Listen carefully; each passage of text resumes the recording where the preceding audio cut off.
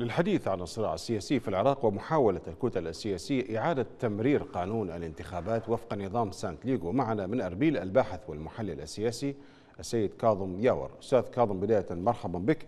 لماذا تعود الكتل السياسية من جديد لإثارة وتمرير قانون جديد للانتخابات وفق نظام سانت ليغو؟ نعم شكرا جزيلا على هذه الاستضافة الطيبة وأحييكم وأحيي السادة مشاهديكم الكرام. أهلا بكم. بالنسبة آه، هناك أسباب عديدة. يعني أبرزها أن الكتل السياسية بطبيعة الحال هم يريدون تحقيق مصالحهم السياسية من حيث البقاء في السلطة آه، وتمسك بموارد الدولة وتجهيزها إلى أنفسهم. هذا يعني جواب جدا آه، طبيعي إذا أخذنا مقارنة بعشرين سنة مضت فهم نفس الوجوه ونفس الكتل السياسية ونفس الأحزاب. عندما يدخلون الانتخابات يخرجون بنتائج هم يفوزون في هذه الانتخابات.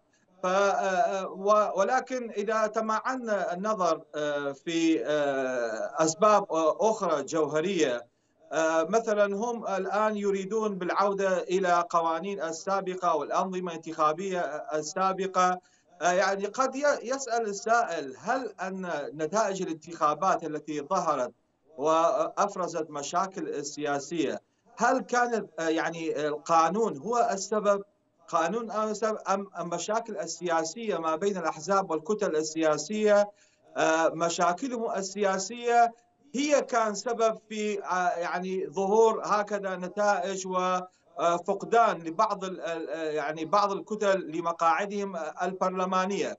ثم آه، فقدان بعض المقاعد البرلمانية لبعض الأحزاب. هل من الصحيح أن يعني نأتي ونضر الشعب العراقي ونحرمهم من حقوقهم الدستورية والقانونية وأن نعمل على يعني سن قانون يستوعب ويجعل المواطن العراقي والناخب العراقي يندفع آه، آه، نحو الانتخابات ويشارك في الانتخابات.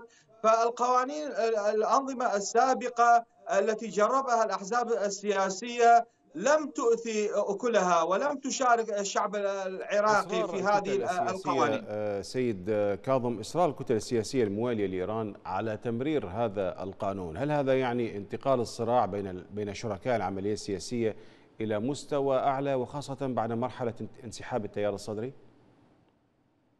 أه، طبعا أه، الضغوطات الإقليمية والدولية لا تقتصر فقط مع الأسف الشديد على إيران وغيرها بل هناك دول أه، يعني هي كذلك الولايات المتحدة الأمريكية والدول الأخرى هي كذلك هي ساكتة يعني حتى الأمم المتحدة قبيل الانتخابات قبيل التشريع أي قانون انتخابي يرفعون من معايير الدولية ويومية آه، يظهرون في مؤتمرات ويتلون البيانات.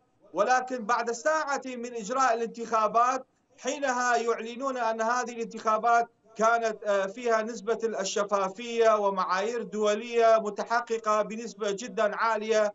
قد تصل إلى 99% كما كانت يعني الأنظمة الانتخابية تجري في عهود آه، في الدول آه، الدكتاتورية عندما تعلن نتائج ب 99% فهذه التعابير مع الأسف الشديد هي مخادعة الشعب العراقي وعدم إعطائه لحقوقه التي يستحقها.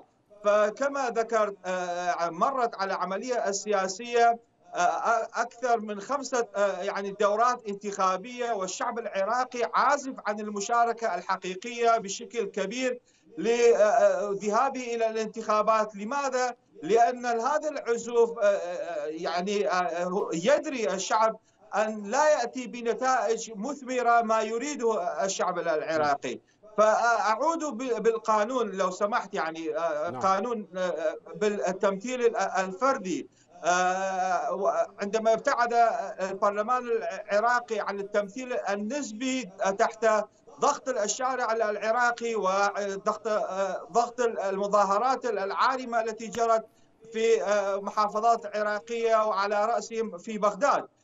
فهم وعدوا أنهم سوف لن يعودوا إلى التمثيل النسبي الذي كان عنوانه المحاصصة السياسية والمحاصصة الحزبية وذهبوا إلى يعني إلى التمثيل الفردي. ففي هذه الانتخابات لابد أن تكون هناك يعني تعديل وتصحيح بعض المسارات الخاطئة التي كانت في التمثيل الفردي وليس الرجوع إلى أنظمة انتخابية السابقة التي كانت فاشلة بنسبة أكثر من 90%. إلى أي مدى ترى أن العملية السياسية الآن والشركاء السياسيين باتوا أمام موقف حرج أمام المجتمع الدولي أو أمام الأمم المتحدة؟ طبعا يعني مع الأسف الشديد الأمم المتحدة كما ذكرت الأجندات الدولية يعني هي ضاغطة على الامم المتحده، رأينا أن في انسداد السياسي قبيل تشكيل الحكومة العراقية، الامم المتحده كانت لديها دور يعني الشعب العراقي ارتاح لهذا الدور لبياناتها لتصريحاتها ولكن سرعان ما تغير هذه الأدوار وهذه البيانات 180 درجه عندما يعني باركت الولايات المتحدة الأمريكية وجار إيران ودول أخرى بتشكيل حكومة عراقية محاصصاتية حزبية ضيقة كذلك هي الأمم المتحدة غيرت من تصريحاتها وذهبت وباركت وأيدت واليوم تساند بشكل مطلق. ولكن أحيانا ربما قبيل الانتخابات أو وضع القوانين العراقية كما ذكرت أنها من أجل يعني دغدغة مشاعر الشعب العراقي تقوم بتصريحات مثل ما رأينا في قبل أيام في ملتقى السليمانية الامم المتحده قالت أن النظام السياسي ما بعد 2003 لا يمكن ان يستمر. ثم في نفس كلامها عادت وباركت وساندت في ضوء هذه التناقضات من الأمم المتحدة ما مدى خطورة إنتاج برلمان من لون واحد كله موال لإيران؟ وكما هو معلوم هناك عزلة دولية ربما ستلقي بثقلها على العراق في المرحلة المقبلة. يعني مع الأسف الشديد العزلة الحقيقية على مقدرات الشعب العراقي على عدم يعني إنتاج نظام سياسي ديمقراطي حقيقي ووضع يعني قانون انتخابي من شأنه يكون فيه شفافية وثقة عالية لدى الناخب العراقي من ذهابه إلى الانتخابات وهو يريد التغيير وهو يريد التغيير. هذا الذي لا يحصل. فاذا المانع كل الموانع التي تحصل في العراق تقع على إرادة الشعب العراقي وليس على إرادة الكتل السياسية القابضة على السلطة التي تريد مرة أخرى إنتاج قانون يلائم وضعها السياسي ويدخلون الانتخابات. بهذا القانون نعم. ويخرجون بنفس النتائج التي حصلوا عليها في نعم. انتخابات السابقة من أربيل الباحث والمحلل السياسي السيد كاظم ياور شكرا جزيلا لك